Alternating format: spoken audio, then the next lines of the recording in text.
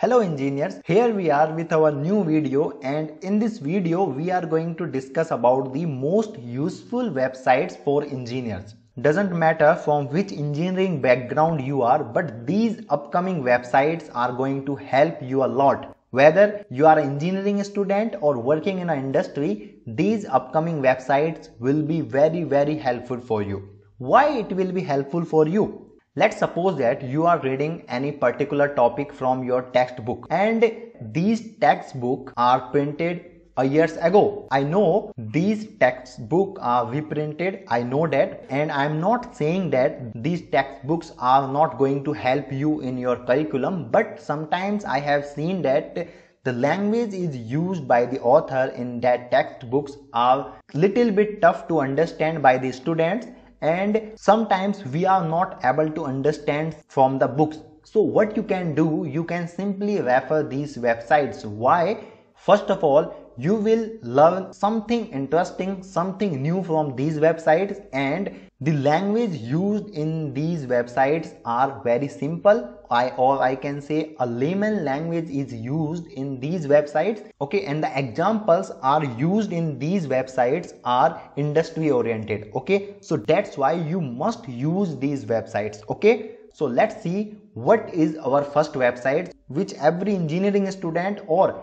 working engineers must use the first website is a wikipedia okay i hope that you have heard about the wikipedia the Wikipedia is the first website which every engineer must use. So whether you are engineering student or working in an industry, this website you must use.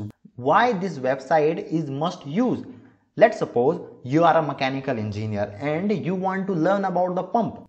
It may be centrifugal pump, gear pump, reciprocating pump, piston pump. You want to learn about the pump. You can learn from the Wikipedia in a simple and layman language from the scratch to advanced you can learn about the pump from the wikipedia let's suppose you are an electrical engineer or electronics engineer and you want to learn about the transformer you want to learn about the types of transformer you want to learn about the efficiency of the transformer then you can simply learn it from the wikipedia let's suppose you are a environmental engineer you are a chemical engineer and you have assigned some project right? So you want to do some research you can easily refer the wikipedia okay? So let's see the wikipedia first.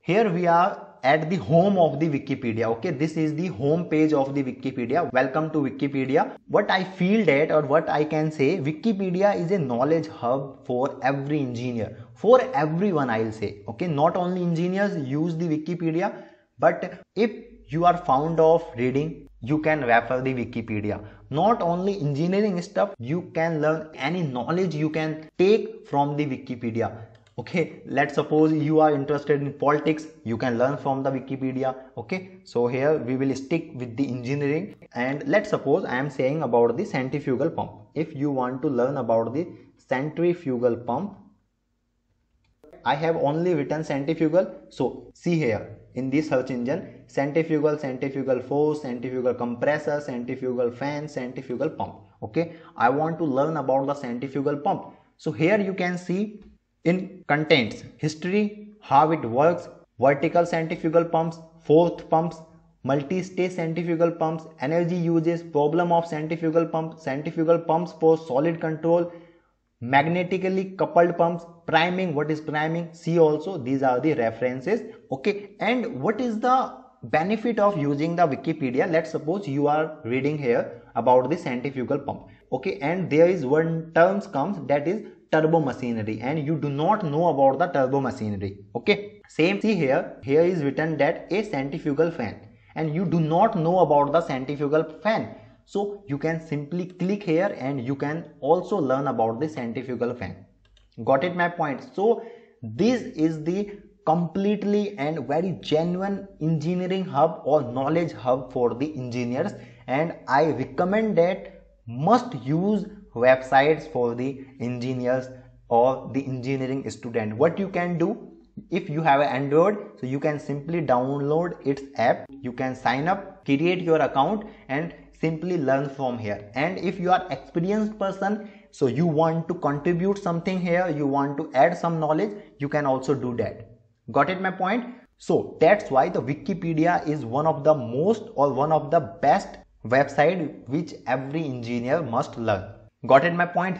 Now what is the second website? So before going to the second website i would like to say to you if you like our content if you like our video so you can simply like this video. You can share this video with your friends. So you can simply subscribe our youtube channel for more interesting engineering stuff.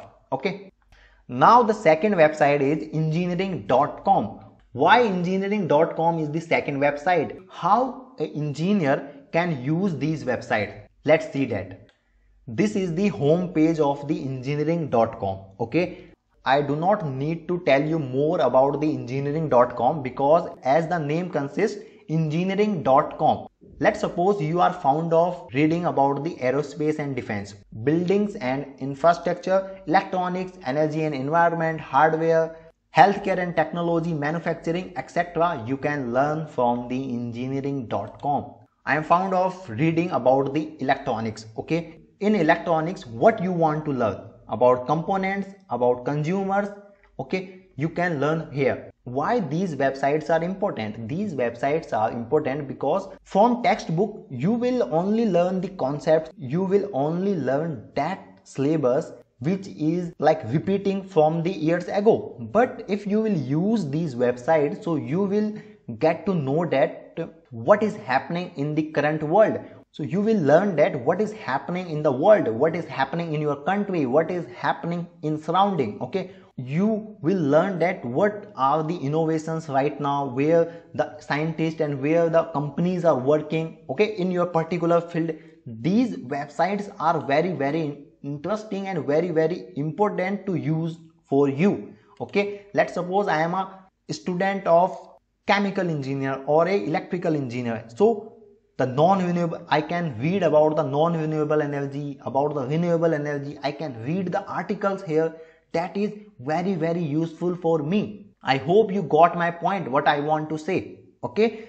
These websites will keep you up to date. These websites will make you apart from class. Got it my point? So that's why these websites you must use okay so the next website is slideshare okay I hope you have heard the name of the SlideShare or maybe you have used it. What is the application of the SlideShare? In the SlideShare, you can read about the any topic. Okay, you can read about the any topics so what you will find here you will find the presentation of that topic okay? What you can do you can simply sign up. And if you are in like experienced person you can add some topics presentation. So you can also add that topics presentation here. How? Let's suppose i want to learn about the any particular topic. Let's suppose i want to learn about the safety. I want to learn about the safety. Click here so journal safety presentation i can see here. I can see in the slides here. This is the slide of the workplace safety guidelines okay? Here you can see 31 slides are there. You can read these slides one by one and you can download it from here right? And if you want to upload some web like some presentations and some engineering stuff you know. So you can simply upload here which others engineer can learn got it my point so that's why the SlideShare is another website which you must use now in the last i'll highly recommend you nptel why NPTEL is in this list? What is NPTEL? Do you know about the NPTEL?